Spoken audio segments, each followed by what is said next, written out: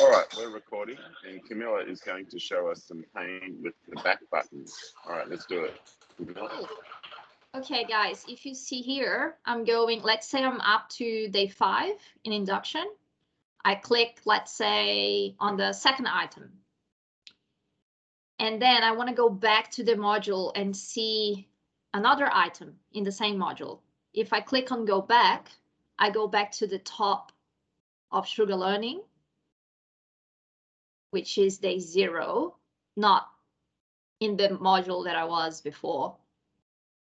So I was Okay, wondering so if there is a way when I click on go back to go back to the module that I was in, not to the top of right, okay.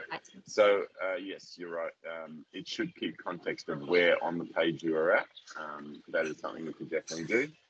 Uh, if you just click on a SugarLearning item again, Camilla, I think before we make this change, um, just click on E. Let's say Uh, we should- one. Yeah, I would like to know um, who is actually using the go back button, whether it's used very often, because my experience is it's not used much. My my I would assume it's not used much. It could be wrong. Um, so just leave that. Oh, no, no, no. Oh, sorry.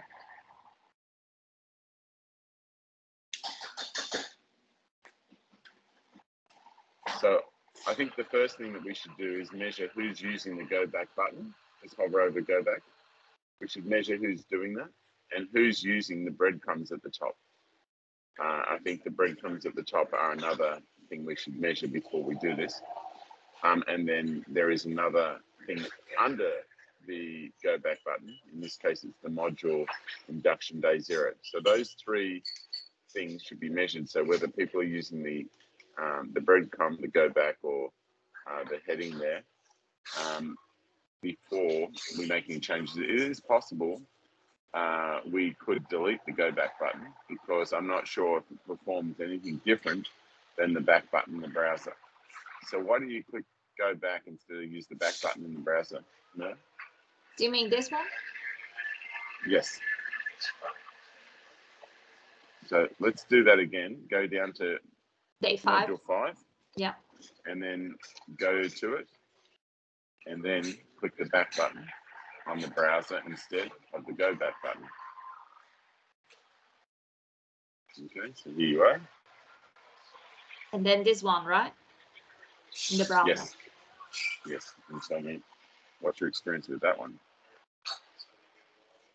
So just just wait because sometimes it, it drops down to the context of the page, and it it didn't, did it? So it's No, the same problem. Yeah. Yes. So yeah, it's definitely something we should fix.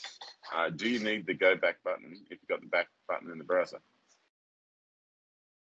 I think it's not obvious. This one.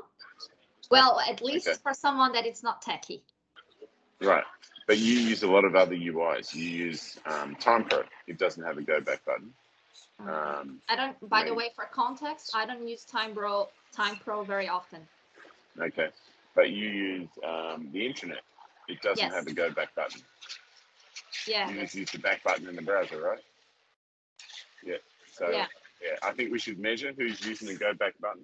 If it's only Camilla, we should ditch the button and let people use the browser. But we should definitely fix the bu- the bug where when you go back, it does not uh, go back down to the part of the page you're at, should be fixed. So anything else, Camilla? Happy with that? Yes, that's it.